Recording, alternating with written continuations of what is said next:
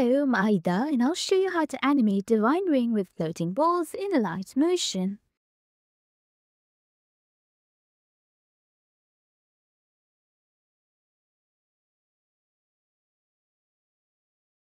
Add circle and scale the circle up. Then duplicate the circle, go to blending and opacity, and set the blending mode to exclude from the mask category. Make the excluded circle smaller to create a ring. Select the two layers and group them. I'll set the color to orange from Color and Fill and set the project background color to black. Add the Roughen Edges effect from the Drawing and Edge category. Increase the strength. Adjusting the detail will give you either fluid-like rings or fire-like rings. The effect can be animated using evolution, which is smoother, or seed, which is faster and more random. I'll animate the evolution and increase the duration of the layer since I want a full turn of the ring.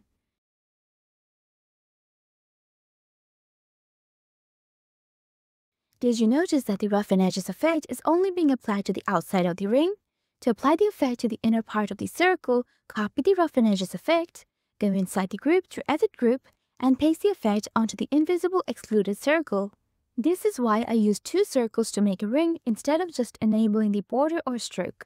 The roughen edges effect is looking too equal now that both the outside and inside of the ring are animated the same, so I'll adjust the seed of the outer roughen edges effect.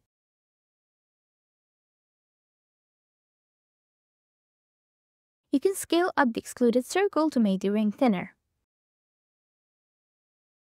Now let's add that glow. For that glow, I'll use the electric edges effect. This is a premium effect and if you want to use free effects only, you can use a mixture of effects. Yes, you'll have to experiment a bit for that. I'll set the color of the electric edges effect to orange, same color as the ring.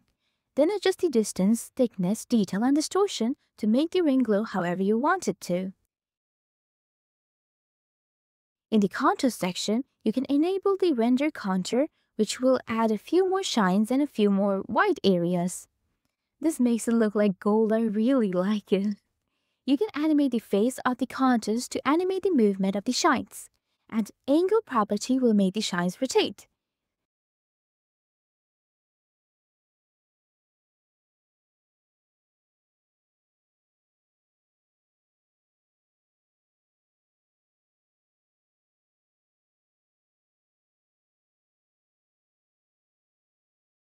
You can animate the ring using rotation, but I'd advise against that if you want to add floating balls.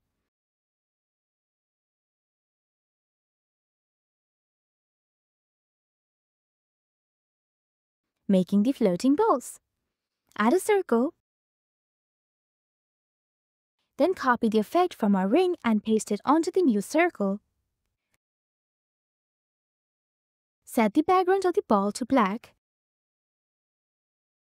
Whoa, how are those lines animated? It's because of the contours we animated that added these lines.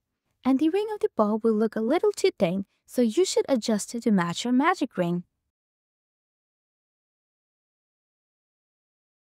Adjust the count of the contours to make the multiple lines into a single line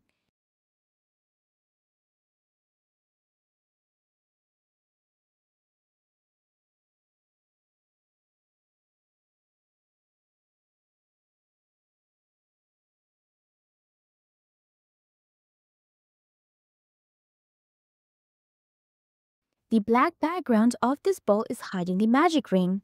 To fix that, just set the blending mode to screen. Place the ball on the magic ring and adjust its appearance until you like it. Then I'll make multiple copies of the ball and place it around the ring.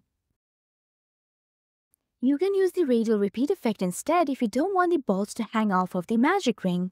It also has a nice sweep property which allows this cool effect. Once we have multiple copies, add a null layer and take each layer, tap on the parenting button and set the null as their parent.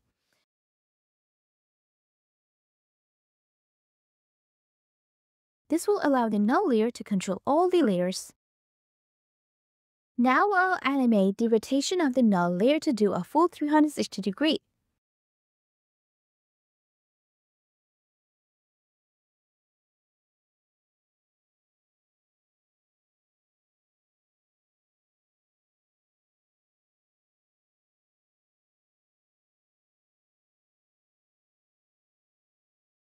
You can also rotate the magic ring if you want to. I think it improves the animation.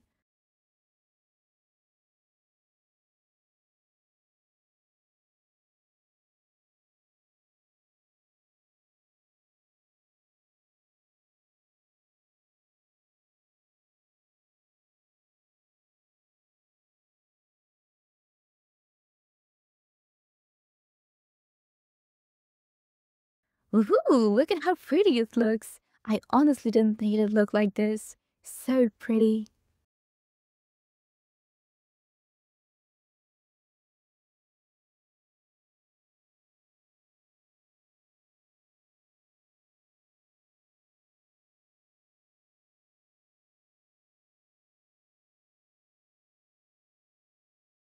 Now here's a mistake I made. The lines or contours of the ball are not looping properly. The contours are at different angles at the start and end of the layer instead of being the same. So I'll take a single ball and make the angle the same at the end as it was at the start without using the same numerical value because I still want the contours to rotate. Now the start and end of this ball's animation look the same. I'll copy the electric edges effect settings, the one we fixed, and paste them onto the other balls. Note that this was a mistake. You should fix the angle before making copies of the balls.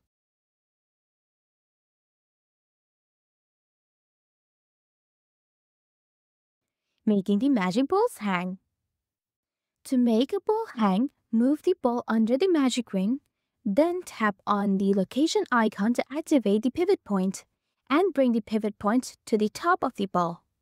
Now add the parenting helper effect from the other category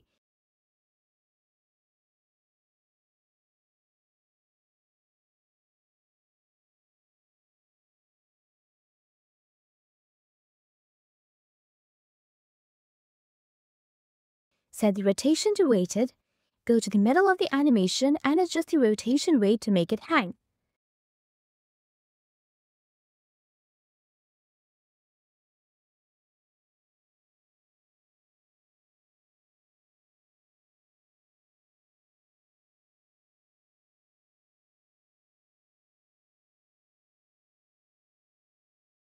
I'll animate the rotation weight to make sure the ball hangs properly.